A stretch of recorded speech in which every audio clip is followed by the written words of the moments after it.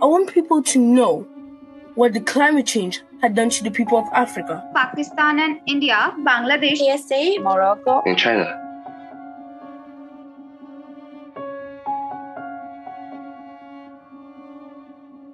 Cyclone Gabrielle hit really early January in Palmerston North and Auckland. Lots of people they lost their homes and now this affected school and different communities pretty bad. Underprivileged people suffer more, people that don't come from high income households. It gets so hot during summertime that schools have to close up early so that children do not have to suffer in the burning heat.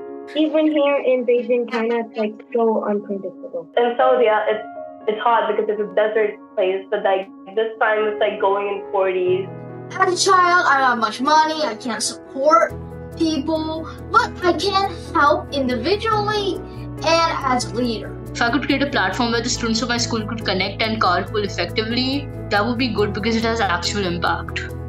My action plan to help climate change is to spread awareness among people in my community by organizing some events like plantation using the 4 R's reduce, repair, reuse and recycle.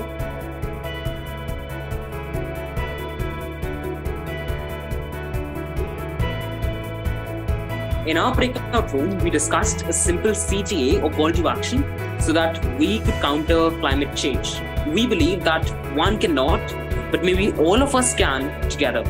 The population of 8 billion people, if they do one change, 8 billion things can happen.